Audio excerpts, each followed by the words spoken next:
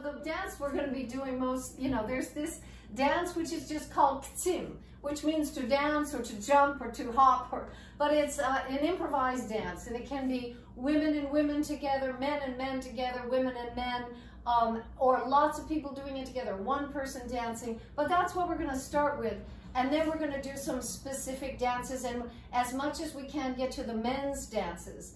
Um, in preparing to teach this today, like I said, I haven't been teaching a lot of Albanian dances these years, um, but um, in looking at the videos that I prepared, I, I have 25 hours of video of dance and life in Kosovo, 25 hours. So we picked out some little bits and I do have a playlist of lots of Albanian dance and life videos, lots of weddings and things, and they're all available for you to look at. There's a link of it that we're putting on the chat as well as in the resource material, so you can watch hours and hours of video, just clips. But today in the class, we did pull some little clips so you can see the specific dances.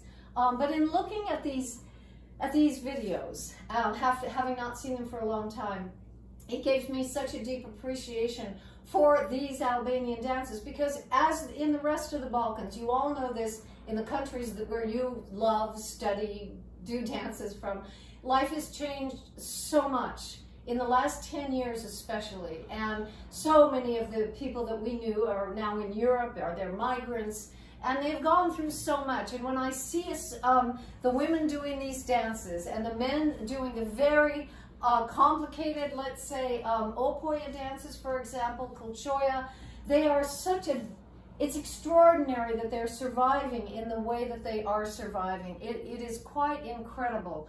These men who have been through so much, and women in the war and its aftermath, and moving and trying to get to Europe and all of this, that they are still, that the dancing has become this incredibly powerful part of continuity in their lives. So much has changed, the way they live, the, what's in their houses, what their houses are like, the relationships between people are now distant. Uh, it's all Facebook, basically, um, because people are living in different places. But the dance is something that is still going on. So a couple of the videos in my uh, my video playlist you can look at are, are just from, you know, a week ago. And, and these epic, incredibly slow, beautiful dances are still being done. So let us now begin with kcim. So this is the basic dance. Again, it's done by women and by men. If you have any questions, basically while I'm talking, please put them on the chat and Genevieve will, will bring them up. Um, if you can grab a handkerchief, it would be handy. You might a, a, little towel or something or hanky to uh, that that might be nice to have have with you so right away we're going to do um, some watching a video so I have little video clips that we're going to go um, kind of weave into the dancing today so uh, just hold your horses because we're going to dance soon. But first I want you to see kcim so K-C-I-M kcim it just means this basic um, dance that we do and everybody does it a little differently. So my objective today in doing this workshop is to give everybody the confidence to dance to Albanian music and improvise and make it your own. And that's what it's all about. It's about being together, being with your friends, hanging out, sharing this really rich, beautiful culture in your and doing and moving as you want to and moving and finding your way of moving within that style. That's the whole deal. So Genevieve, let us share the Kcim video. Um, and uh, yeah, just we're starting out, um, it's, a, it's about a five minute video. The other videos are a bit shorter, but um, we're starting out with this one because you, I, because it will give you the sense of, of how this all goes, the various formats for kcim, the various ways that it's done, combination of people. When it's done together in a, a boy and a girl, um, it's called kshota, which is um, a, a, special song and a special kind of flirtatious dance, like Rrčanica becomes, you know, like many cultures they, they take a, a, dance and make it into a flirtatious couple dance. So you'll see that. But the funny thing about this video you're about to see, it starts with George Chittenden, the one, the only George, the fabulous Zurna and clarinet player who was visiting with Lisa and George who were visiting me in Kosovo, I think about 1987. And so it just happens that he's he happens to be in somebody. So the Zurna you're going to hear at the beginning is actually uh, George playing Zurna. And you're going to see women from Rugovo up in the mountains just dancing in their living room, just kind of hanging out because George is there and Lisa's playing a big a big tin pan and that's a uh, So let's watch this and let me know if you have questions. Here we go. So, uh, so that's Kcim. So let's do it ourselves. You see that it's done, it is it is so the feeling of being Albanian. When you hear this tune, I don't know now who has joined us from Kosovo, but welcome. Um,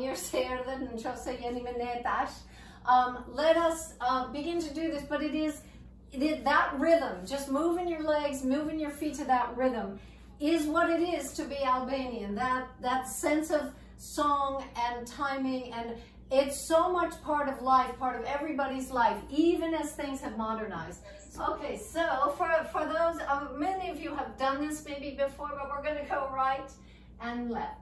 And one and two, one and two, one and two. So if you're just doing the feet, that's all there is to it, basically like that. Just one and two, one and two, one and two, one and two. Little variation, you can go point and two, and one, and two, and one, and two, and one, and two, and try the other side, and a left, and two, and point, and two, and one, and two, and one, and two. We can go forward and side, and forward and side, and forward and side, and forward, other side, like that.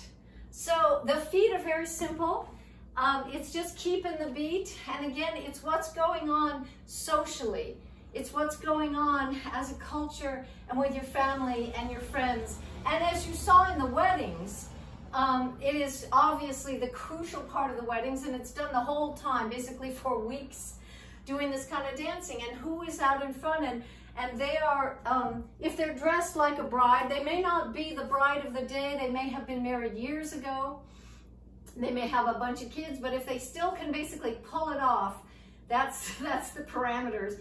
They dress like a bride, and then they are showing the bride wealth. They're showing um, what has been given to them, the gold and the jewelry and the wealth that's been given to them by their husband's family, and all the things that are going on during the wedding. And if you have young women doing it, people are looking and saying, hmm, who could we, what would be a good groom for this girl? What would be a good husband? So much is going on. But the hands um, are unique to every woman. Now, many of the women, it's just kind of fingers together and loose, like this, like this. And maybe turn around in a circle or in and out. And I'm kind of here, I'm kind of have my fingers together a little bit, here and here, and in and out and in and out. So everybody just try this. Don't worry about the feet right now. We're just feeling this groove with your hands like this and this. Really subtle and soft. Really the fingers together like this. Subtle and soft like this. Now some people do it a little more extravagantly in the ensemble, in the, in the stage versions. It's um, often done, you know, bigger, of course with fingers out there and dropping the wrist on the downbeat. So we're going a rap, da doom, da tik doom, da tik da doom, tik da tik doom, da tik da doom, tik da tik doom, da tik da doom. I'm dropping my wrist on the downbeat like this.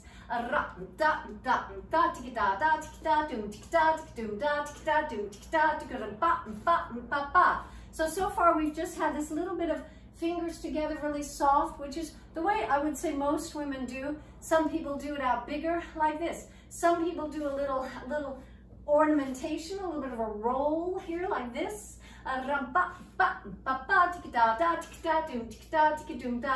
Do a little bit of roll like that.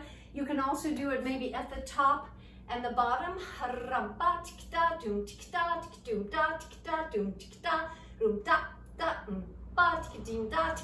Like that. Um, and now when I do these, when I teach, I do teach um, in my world dance class. And when I do it, I'm, um, I'm always thinking of some woman in particular.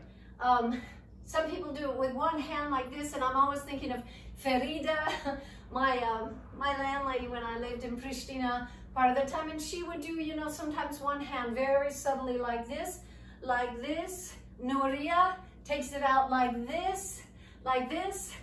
And uh, Dusha kind of has a dip like this, the one that was dancing with um, George Zerna in, in Rugovo.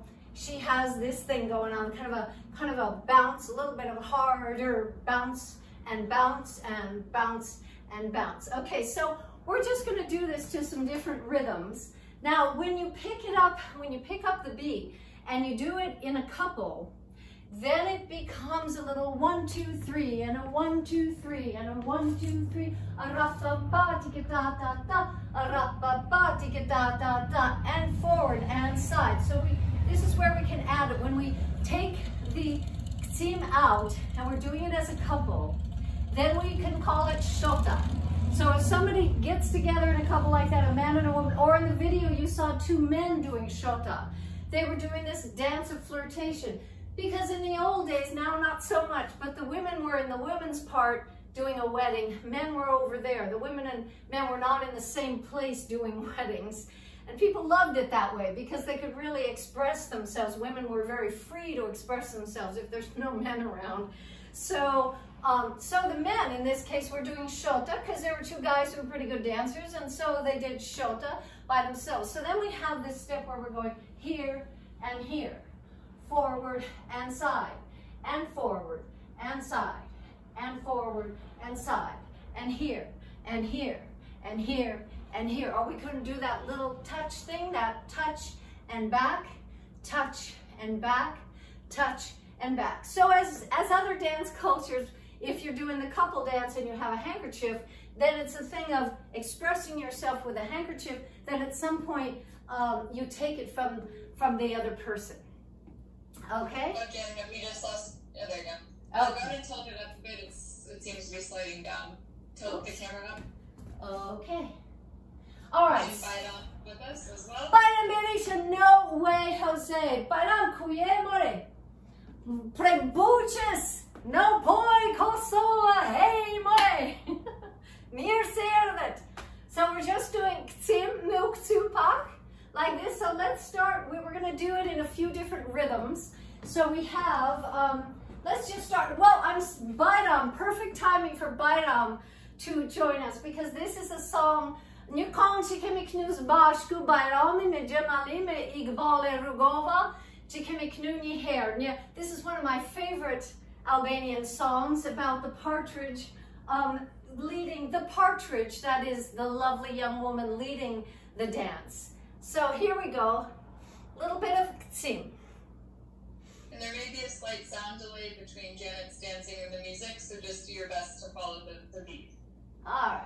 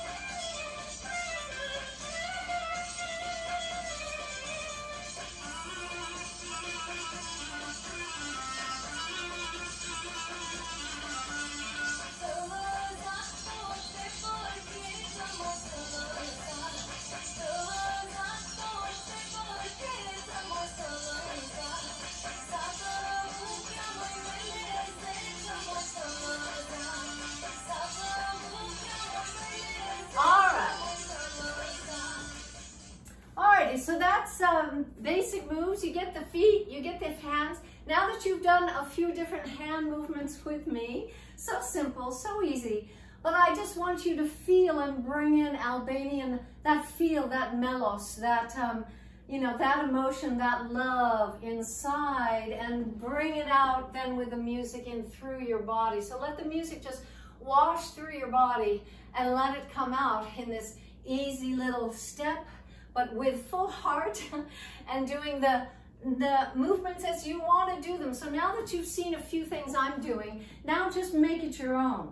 Do whatever you like, it whatever expresses who you are with your hands, because that's what it's all about. But Oh, this is for for Samet, for people who are from Ferizaj, from that region near Vitia. Um, this is the girls' def playing. So this this thing called a daira or a def, many of you know it, those who of Balkan student of culture, um, you know this def, that bum bum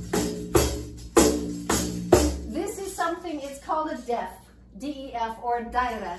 And it is in every Albanian home, at least it used to be on the wall. So any time you want to, you can pick up, a, a young girl can pick up the def and start playing and people start singing. So you can have a dance party anytime, and that's super cool. You don't need a band to do Albanian dance. You All you need is a rhythm or clapping or singing, but usually there's a daira involved. So what you're gonna hear now, we're gonna do the same thing, but now you're on your own, or follow me if you want. Follow exactly what I'm doing, or exactly do whatever you feel like. And um, we'll be doing this to a group of girls from Ferizaj. Some of you, yeah, know that area. So um, it's a girl singing, a little bit of a different sound. Here we go.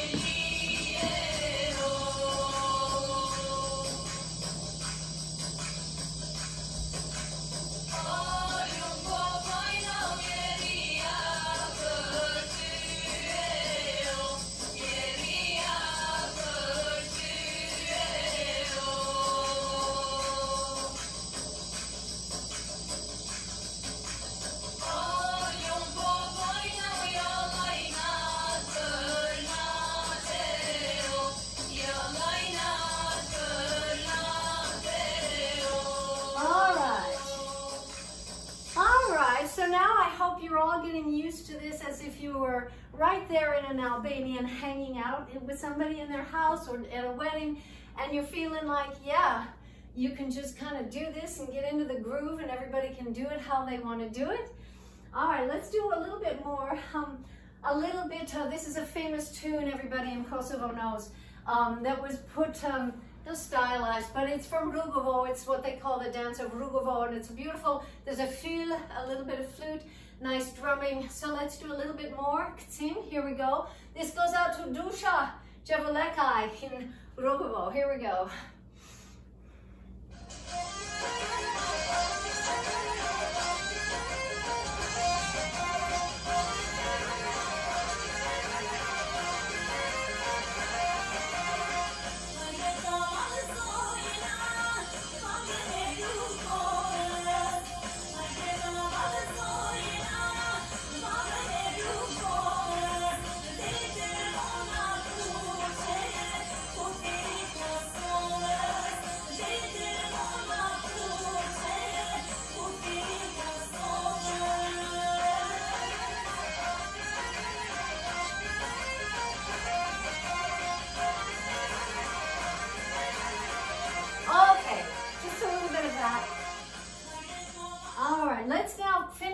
Finish with shota. So this is faster, more upbeat. If you've got a hanky, then then bring it out because we're gonna go rum bum ba dum bum ba to step together, step, step together, step. A one, two, three, a one, two, three, a one, two, three, a one, two, three. You can do whatever you want, go around the house and come back.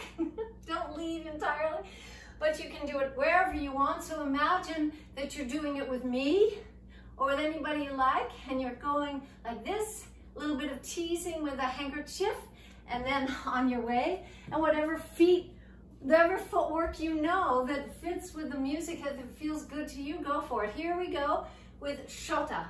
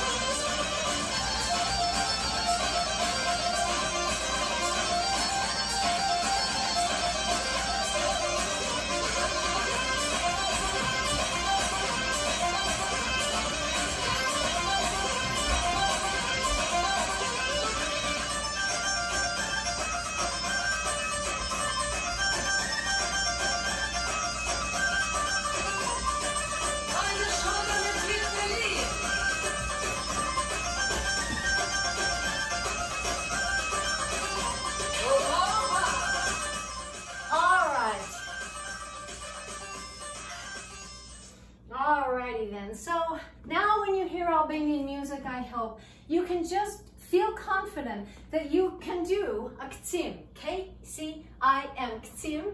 Muktu means to dance, to jump, to hop around, and that's it. Kcim basically means a dance where you're not holding on in an open circle, where you're not holding hands, because that that's called valle. So valle, V-A-L-L-E, valle means you're holding on. Kcim means you're not holding on. So those are the big two types of Albanian dance.